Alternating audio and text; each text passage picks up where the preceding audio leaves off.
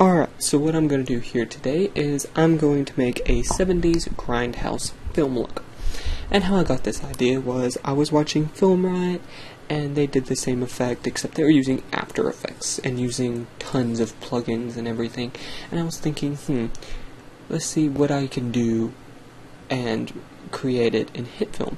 And what I figured out is I got close to the very same effect that they used that they got with After Effects and all their plugins.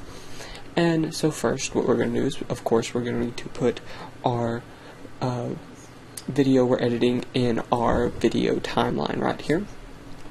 And the next thing that we're going to do is we're going to get the saturation tool.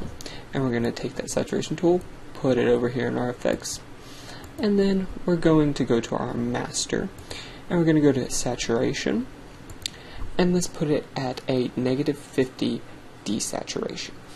As you can see here, this gives you, well, this is without it, and this is with it. It gives you some of the same colors, but they're not as bright and not as vivid, which is key in this effect.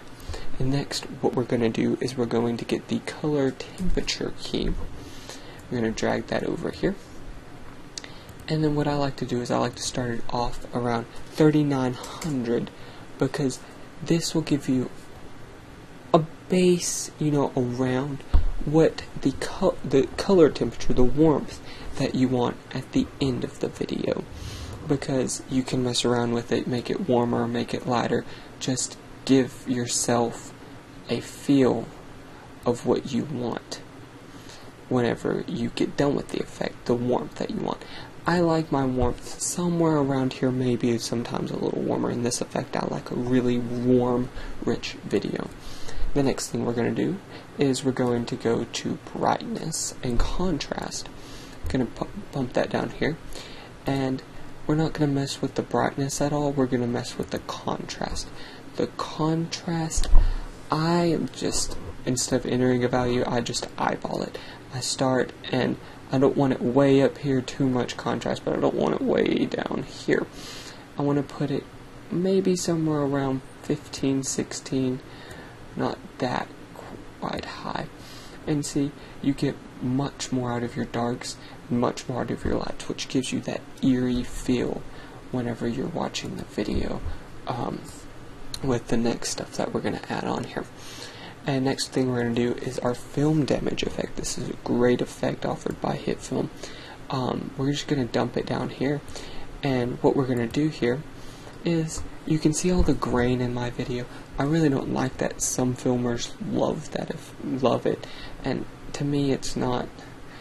I just don't like it in this effect. So I'm going to take that off. And what I'm going to do is I'm going to take the shake off. What the shake does is if you get down here somewhere, it'll move the video up and kind of the top up here is down here.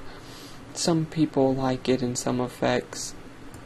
I'm not a big fan of it, but yes, I will use it sometimes if I'm like having an old TV or something, but not really in this effect for the entire video.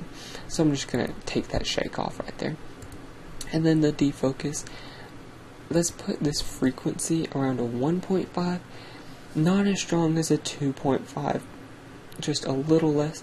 Some people like the stronger defocus some people don't. This is where I like it. Of course all of this you can edit to your own preferences. I'm just doing it to mine and showing you how to get the film look.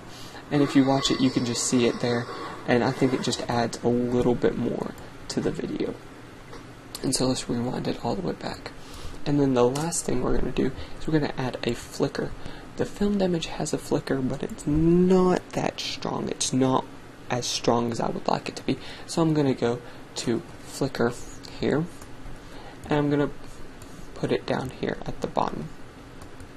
And mainly all I do to this is I bump up the brightness to around 1.35 just to give it that much more from the light source or from the brights and then look at it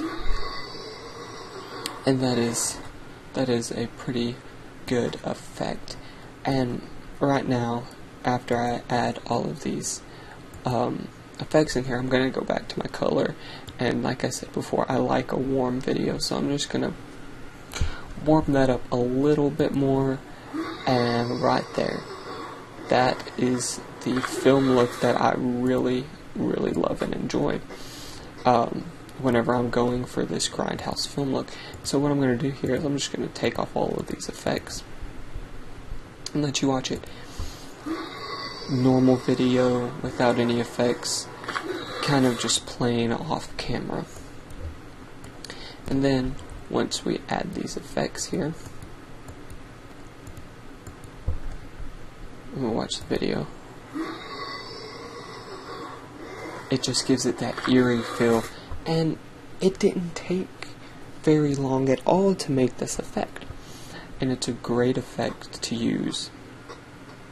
And like I said, they used plugins that they had to buy, and this is all built into HitFilm, which is the reason I really love this software.